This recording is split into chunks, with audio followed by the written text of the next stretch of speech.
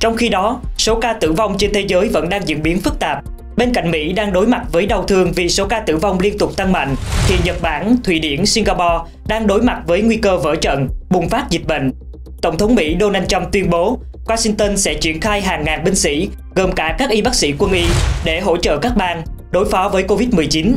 Ông cũng cho biết thêm rằng 1.000 binh sĩ sẽ được cử tới thành phố New York, trong đó bao gồm các bác sĩ và y tá quân y.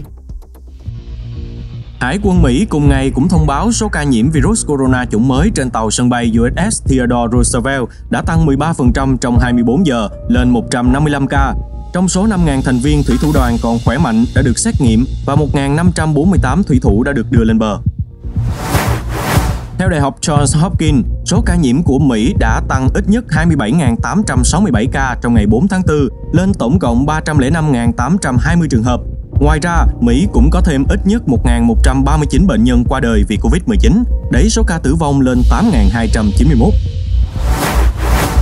Tốc độ gia tăng các ca tử vong tại bang New York, tâm dịch của Mỹ, ở mức kỷ lục với hơn 600 người chết chỉ trong 24 giờ, nâng tổng số người chết vì nCoV ở bang này lên 3.565 ca. Các chuyên gia của Nhà Trắng đầu tuần dự đoán 100.000 đến 240.000 người Mỹ có thể chết vì nCoV và kêu gọi người dân tuân thủ nghiêm ngặt các hướng dẫn cách biệt cộng đồng.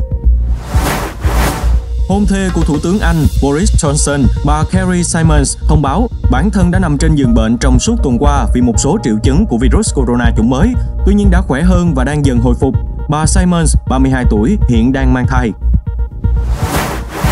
Tại Singapore, những người cố tình vi phạm khoảng cách an toàn ở nơi công cộng có thể bị phạt tù tới 6 tháng và phạt hành chính tới 10.000 Singapore đô la.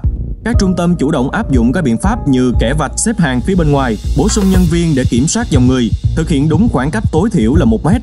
Khách mua sắm sẽ được phát một thẻ có mã QR và trả lại khi ra ngoài để trung tâm giới hạn số lượng người bên trong. Theo quy định mới của chính phủ Singapore, các chủ sở hữu cơ sở không thực hiện các biện pháp an toàn cho khách hàng có thể bị phạt tù tới 6 tháng, và hành chính tới 10.000 Singapore đô la, tức 164 triệu đồng, hoặc cả hai. Những cá nhân cố tình ngồi trên vạch phân chia hoặc đứng cách nhau chưa đến 1 mét cũng có thể đối mặt với các hình phạt trên.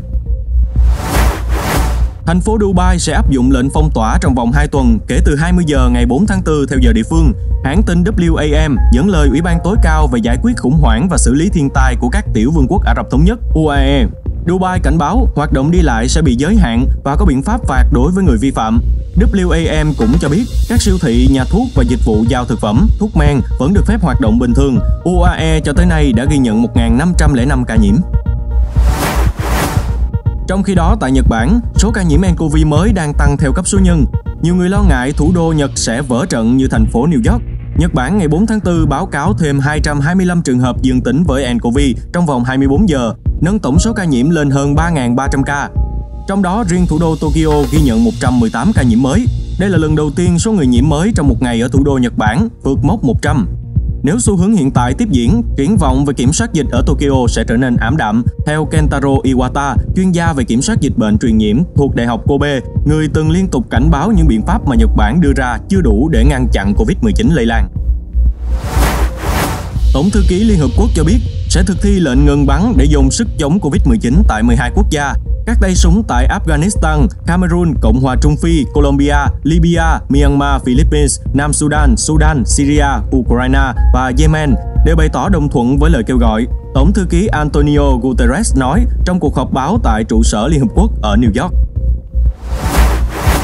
Còn tại Australia, Thủ tướng Scott Morrison kêu gọi du học sinh và người ngoại quốc về nước nếu không thể tự trang trải chi phí giữa Covid-19.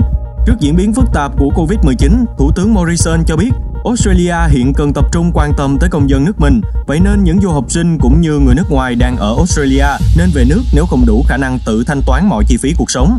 Đối với gần 600.000 du học sinh nước ngoài, chính phủ Australia khuyến khích trông cậy và hỗ trợ từ gia đình, việc làm bán thời gian, cho phép tối đa 40 giờ trong 2 tuần và từ nguồn tiết kiệm cá nhân để trang trải chi phí.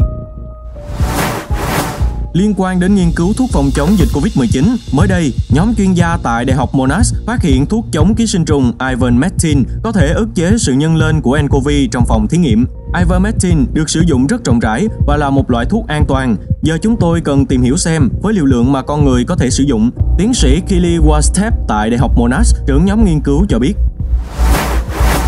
Còn tại Anh, một số công ty đang nghiên cứu chữa Covid-19 bằng tế bào miễn dịch. Theo phương pháp mới, bệnh nhân Covid-19 có thể được điều trị nhờ tế bào miễn dịch do các tình nguyện viên trẻ và khỏe mạnh hiến tặng. Nhóm nghiên cứu tại công ty TC Biofarm đang trao đổi với chính phủ Anh để thử nghiệm liệu pháp miễn dịch mới giúp đối phó với nCoV. Independent hôm ngày 4 tháng 4 đưa tin, phương pháp điều trị của TC Biofarm từng được áp dụng thành công với bệnh nhân ung thư. Cụ thể, các chuyên gia lấy những tế bào miễn dịch đặc biệt từ người hiến tặng khỏe mạnh, nhân lên thành số lượng lớn rồi đưa vào cơ thể bệnh nhân. Trong lúc Pháp đang xoay sở tìm cách điều trị Covid-19, có dấu hiệu cho thấy tỷ lệ tử vong ở Thụy Điển đang tăng mạnh. Thủ tướng Thụy Điển Stefan Löfven vẫn cho phép trường học, nhà hàng, quán cà phê hoạt động bình thường, chỉ kêu gọi ý thức của người dân trong việc ngăn chặn Covid-19 lây lan. Tuy nhiên, trong vòng một tuần, số liệu thống kê ảm đạm cho thấy cuộc thử nghiệm đang được tiến hành tại Thụy Điển không mang đến kết quả tích cực. Hiện tỷ lệ tử vong tại nước này đã tăng lên 36 ca trong số 1 triệu người dân, so với 29 ở Đan Mạch và Na Uy là 9 ca. Lực lượng chức năng Pakistan đang tìm kiếm 100.000 tín đồ, bao gồm người nước ngoài có nguy cơ mắc Covid-19 sau khi tham dự một sự kiện Hồi giáo quy mô lớn ở thành phố Lahore hồi tháng rồi. Tổ chức Hồi giáo Talighi Jamaat đã tổ chức sự kiện từ ngày 10 đến 12 tháng 3 tại thành phố Lahore của Pakistan. Với sự tham dự của 100.000 người hành hương từ khắp nơi trên thế giới, sự kiện vẫn diễn ra bất chấp chính phủ Pakistan yêu cầu hủy bỏ để phòng ngừa dịch Covid-19 lan rộng. Cho đến nay, ít nhất 154 tín đồ tham gia sự kiện trên đã xét nghiệm dương tính với virus corona chủng mới SARS-CoV-2. Để sống sót vượt qua dịch Covid-19, các hãng hàng không toàn cầu khó lòng hoàn tiền vé cho khách hàng vì khủng hoảng tiền mặt. Họ đành lờ đi những phàn nàn công khai của hành khách. Theo hãng tin Bloomberg, các quy định của Mỹ và châu Âu nhìn chung vẫn yêu cầu các hãng hoàn tiền chuyến bay cho hành khách bị hủy chuyến, chỉ trừ trường hợp vì lý do thời tiết xấu.